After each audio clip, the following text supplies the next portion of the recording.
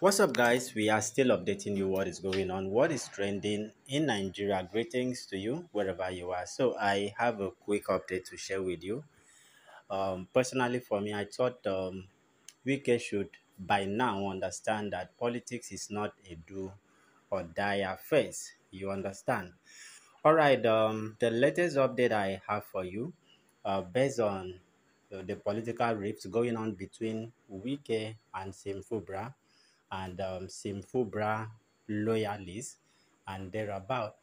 of course, uh, we are already aware of all the crisis going on in River State. And then, personally, for me, I think that is just some form of distraction because we can knowing fully well that, um, you know, this political battle, he may not win the battle, but what he wants to do at this point in time, I think Wike only wants to be causing distraction, you understand, to Fubara's government.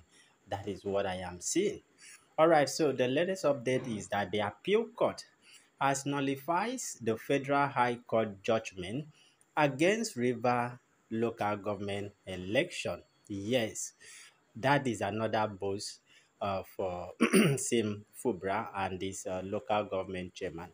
So Opposition coalition spokesman Ikenga uh, Imo says the judgment is victory for democracy and redemption of the image of the judiciary that pro-Wike group nearly destroyed.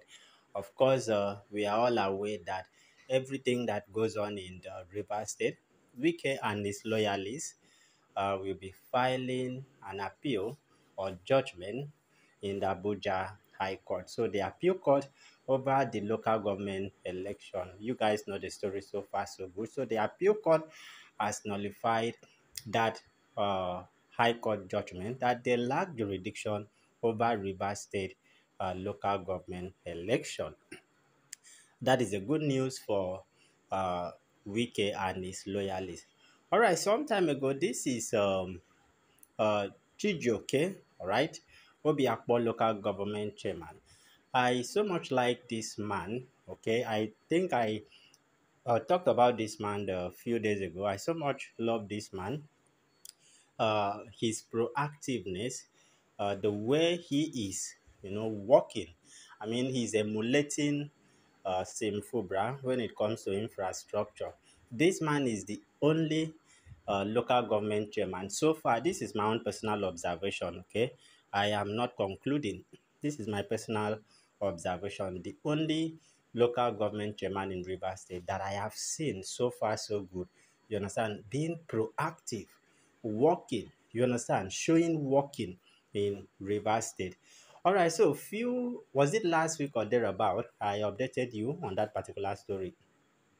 Uh, Chijioke had to disband a vigilante group, OSPAC, in River State.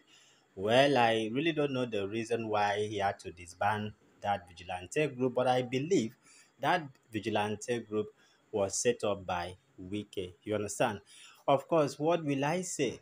Sim Fubara has really, really, really, you know, groomed men that is willing to stand and fight Wike. Yes, that is what I'm saying. So he took a bold step to disband that vigilante group, OSPAC, in River State. Now, guess what? The executive chairman of uh, Obio/Akpor, uh, that is Chijioke, Ambassador Chijioke, has announced that Wike has dragged him before the Inspector General of Police. Yes, over his disbandment of that local vigilante group known as OSPAC. I really don't know why Wike, you know, everything Wike seems to be taking action. He is no more in government. His government end in Abuja, FCT. So I really don't know why Wike is really, really concerned about what is going on in River State. He's not the only person appointed by uh, Tinubu that is from River State. We have people from River State in the Federal House of Assembly. They mind their business. They are also in government. You understand? Those ones are even elected uh, lawmakers. But Wike is appointed minister. they mind their business they know where their you know their job stop they don't cross the boundary they don't cross the line but wike wants to you know control everything wants to be involved in everything that is going on in river state even when he is the fct minister i think his job should not be focused on or in fct so according to Chijioke, that this is the second time, the second petition by Wike, you understand, against him in the past week. According to Chijioke, he said the first petition that Wike dragged him before the DSS for petitioning him to the NJC, you understand, over alleged bribery of judges. Of course, you guys remember what happened the building of houses uh, to judges in FCT. And now one will begin to wonder the question people are asking is why is your court judgment, your petition, always coming from FCT? Yes, we have federal uh, high court in uh, River State there, in Port Harcourt. But why is your petition, the petition of your supporters, is always coming from the Abuja court? Yes, that is the question everyone is asking. All right.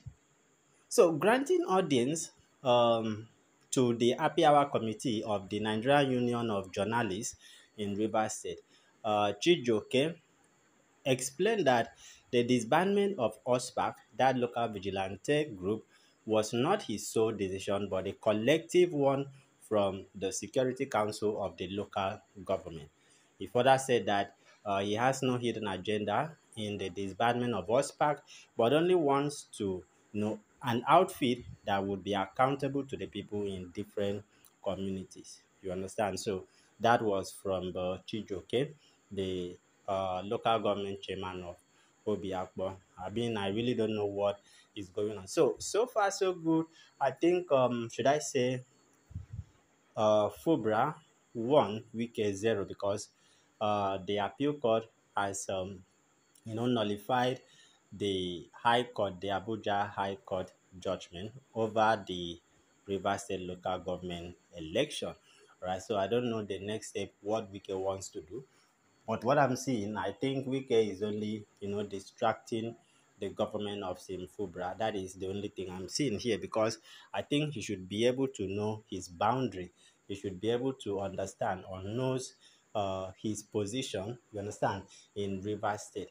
He should work hand in hand with River State government. He should be an elder statesman. He's not the only governor that had been in River State, but nobody interferes with his administration. Amaechi was there, Odili was there. All of them, they are now supporting the administration in their own capacity.